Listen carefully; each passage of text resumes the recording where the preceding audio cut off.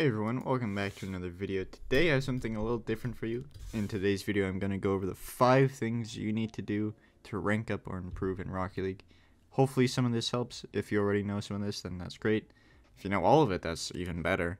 And uh, yeah, I'll see you guys in the tips. Tip number 1, and tip number 1 for you guys I got for you is watch your replays. Now, the main reason like you want to watch your replays is so you can understand your game and how you should like evolve it, improve, and stop messing up with the little things. So for you in this video, I have just just a little. I'm just gonna show a little snippet of a replay that I have. Uh, sorry, I have a lot of replays. So I have to scroll a little bit, but in this replay, uh, which is actually a video, uh, basically what you want to do is you want to look over your mistakes, like that's maybe a positioning mistake, me not realizing or going for it sooner. And of course you can pause and you can be like, well, what's the situation in my teammates right there, so maybe I don't dive here, maybe I shouldn't challenge. It doesn't matter the result of the game. Obviously, if you want to improve a lot more, you definitely look at your losses. But if you want to steadily progress, you definitely want to look at your wins because obviously you made some mistakes if you got scored on. And most chances are you got scored on. And since twos or threes is a team based game, it had to get past two players. So why did that happen? Like this goal right here is uh, how did this goal happen? Well, okay. So if I scroll back a little bit, I dove in for a sidewall read. So that got past me. How did it get past my teammate? Poor 50. I bumped into him. Couldn't really do anything for me. So maybe uh, I look at this replay and go, what could I have personally done different that wouldn't have allowed wouldn't have allowed us to get scored on. Now I can't control my teammate, so I'm not gonna look at what he did. I'm gonna look at what I did as the person who's playing the game. look at what I did. If my teammate messed up, and that's the reason it went in, okay, you move on. But the main thing is for replays is you want to look at every time the opponent scores, and then you want to look at the rest of the replay just to see if you can see any little thing that like if you should have bumped this player, if you should have uh maybe hit it to the left instead of the right because a different play would happen, something like that. So hopefully that guys that helps for you guys and I'll see you guys in tip number 2. All right, and tip number 2 for you guys I got is training. Now training can mean anything in this training tab obviously. You can I could be talking about tutorials striker goalie aerial custom or free play. But for this example today is going to be free play. Now custom training is good for if you want to learn a certain mechanic. So let's say you want to learn something besides these packs. Like let's say we go to browse and let's go to wall to air dribble that's if you want to learn wall to air dribble and plays off the wall. But if you're trying to in my opinion, I think free play is a lot better than custom training it's great if you use them in tandem, if like, let's say you're trying to learn something. But free play is where you really get to use it uh, to your advantage. And you get to learn the setups all by yourself. So the main thing with training and ranking up is kind of the motion of how you want to play. So what I tend to do in training for like warming up or like if I want to learn something is I will A, watch a video on it if it's a mechanic, or B, if it's trying to improve my speed, like in speed in the game, not necessarily going faster, but just my speed at which I make my decisions, make my plays. Uh, I tend to go in training and just play as fast as I can. I spawn the ball in my car. It's kind of what uh, the pros do on streams and stuff. Like, I know like Justin does this a lot, obviously a lot better than I am. But he goes and does wacky things in the uh, training and just goes around and plays as fast as he can just to get solid touches on the ball every single time. And he does that for quite some time. I don't know how long, but that's something, if you want to improve your speed, you definitely want to go around training and just practice getting solid touches on the ball and when you want them and as fast as you can. And it helps with your uh, improvement in your speed in your play. And it also makes those awkward things a little less awkward. But one other thing I want to point out before I get into the other part of the the training thing is if you guys are interested at all know a little little plug here so if you want to skip ahead do it but a little plug here is my Twitch where I can go more in depth on replays if you want. I can even look at your replays if you join the Discord, also linked in the description, as well as my Twitch. So yeah, if you ever want replay reviews, hit up the Twitch, hit up the streams. I will be glad to do it for you. If you don't have anyone else to do it for, or have anyone that can help you with it. But second part here is custom training. And I don't mean this custom training, I mean mean workshop maps and stuff that only PC players can get sadly because Epic doesn't care about this game and Psyonix can't implement things because uh, Epic owns the game right now. But you guys don't see it, but on my screen I have a bunch of maps, uh, all thanks to uh, BakkesMod. And let's go into Speed Jump Rings 3 by DMC, otherwise known as Rings 3 by DMC. And this is just your this is your classic rings map. So this is what you would do if you want to learn your air rolls on your left or air roll left, air roll right. Stuff like you, to move your car like this.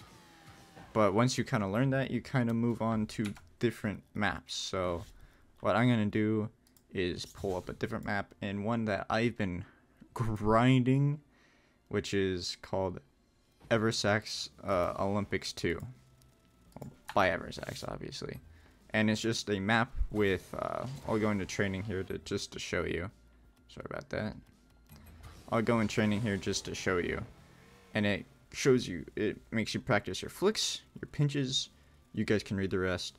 Dribble, shooting, parkour, air dribble, defense. And the cube is just like, uh, if you guys ever grew up with Wipeout, that's pretty much what it is.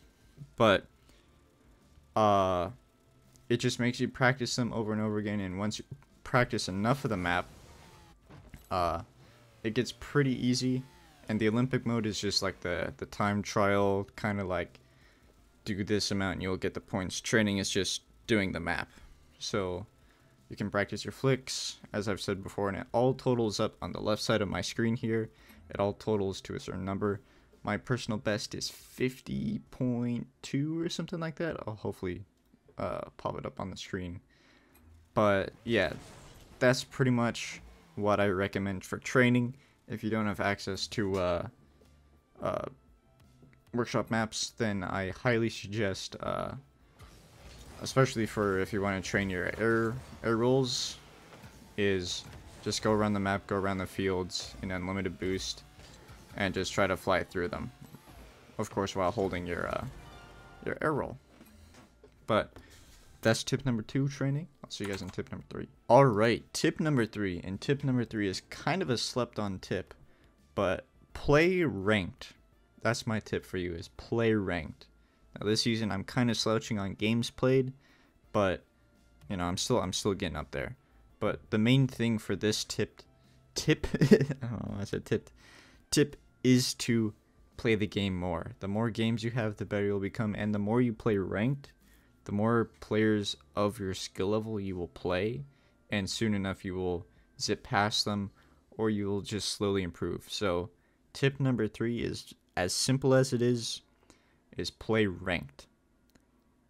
I don't want to hear no, oh, but I warm up in casual. Warm up in training, warm up in casual, whatever it is, then play ranked. Your casual should be, and training should be about half or a fourth of what you play for competitive or ranked if you're a serious grinder. Or the other way around, if you want to practice things more, you don't hop into competitive, you don't play in casual, you play training, that's fine as well. But the main thing here is to just get hours in, get time in, play ranked, play people similar, or maybe even a little bit better than you, because there are those Smurfs hanging around. Who knows, you might have been a Smurf. But the idea is to play ranked as much as possible so that you can either grind up the leaderboard or you can just improve as a player because the more obviously wins you have, the higher you'll rank you'll go up. So who doesn't like a higher rank, right? But that's tip number three for you guys. Here's tip number four. Now tip number four is a bit more common, and you guys have probably heard a lot recently, and this goes out to all you hard stuck champs play ones. Now you may see I'm champ three in ones. I've been slipping a lot in ones, and I haven't played that much recently because it's been Thanksgiving week and I've been really busy.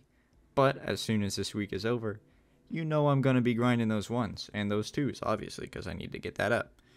But the main thing is play ones, and you can combine two tips here. You can play, or actually three tips actually.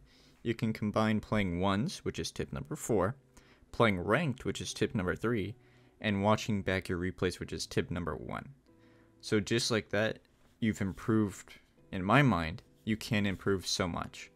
Because when you play ones, it's just you, the ball, and the opponent, which means it calls for outplays, bumps, even, uh, and just trying to learn the game more. And it also gets you, it can get you more mechanical. There's a lot of mechanical ones players that have come out of the, the one scene recently, and, uh, it's just really it's a really good game mode for improvement. That's why you'll see me around the Champ 3, GC1, almost GC2 area that one time. but yeah. Uh tip number 4 is play ones. Hopefully I'll see you guys in in the ones playlist was one of these days. All right, tip number 5, the final tip for today's video is watching pro replays. Now you can double down on a few tips here actually and for tip one, which is watch your own replays, and tip five, which is watch pro replays or pro play, is you can exclusively on PC yet again. I'm sorry for all you console players. Uh, is you can go and download replay files on ballchasing.com. Yes, that's a real site. It houses all the replays. You could download my replays if you wanted to for some odd reason. But the main thing I want to show you guys is this replay called Zen which is just a replay I have from ballchasing.com, which is a Zen Vatira uh, replay. And now what I suggest you do for uh, especially pro replays is not watch this fancy this fancy play. I've watched this replay before. Zen takes it to the sky like he always does. But watch instead of maybe how he goes up for it. That might be a great idea for people to watch. How does he get the consistent hard touches? Or the touches that he need? How does he get the first touch that he wants? That sets up the rest of play. Maybe you watch that. But then you should watch the recovery. How does he recover and how does he stay so fast? How does he move around the field so fast so often, even though he doesn't use boost? What is going... Essentially, what... Put yourself in their shoes and think of what would you would do? What they do differently than what you do? What makes them so good at the game, and Zen might not be the best uh, person to watch for this because he's just that much better than everyone else, even at the pro level. Even though he kind of lost a little bit in the salt mine, but watch kind of like how he recovers, how he does things, how does he stay so fast, why does he make this decision, what decision would I have made? Essentially, what makes him that much better of a player than what makes compared to me or someone else. You don't just want to watch the flashy plays because we could watch the flashy plays all day and learn nothing. What makes them just so good at what they do, the fundamentals of the game, the recoveries, but I want to put first touches in, uh, like that, that play right there, that's a great play to make. Flip reset over one, follows it up, almost gets the dunk, but then how does he recover? He's already back to the boost and he's already positioning himself for the next play.